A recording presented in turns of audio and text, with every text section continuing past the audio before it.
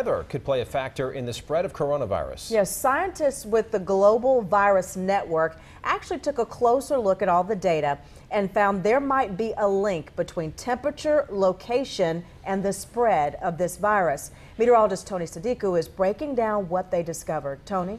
Yeah, guys, I spent some time today combing through a study done by researchers in Iran and here in the United States. It found weather patterns may play a factor in the spread of COVID-19. And they believe weather forecasts may be able to predict which other areas may be at risk in the future. Here's what I mean. You look at this map, you can see some of these areas circled, places like Washington State, places like Italy, China, South Korea, Japan, all of these areas where we have significant community transmission. But what you'll notice when you take a closer look is you're talking about an area with a similar latitude, area with a similar temperature and humidity profile.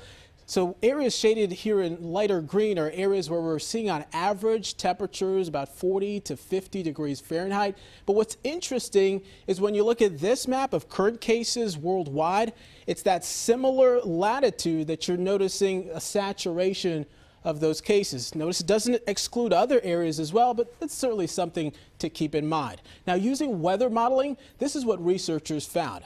Other coronaviruses other than COVID-19 were shown to be more prevalent between December and April with fewer cases in the summer. They also found a similar pattern is expected with COVID-19. In the next few months, the impact could diminish in the areas currently affected the virus has a harder time spreading between people in warmer and tropical climates. So those are the main things that that research analyzed. But what I want to stress here is this is just one study. There's a lot of things the CDC is still looking into, but at least based on this, it seems weather may help officials figure out how to tackle this. Locally, though, our temperatures have been and will continue to be all over the place.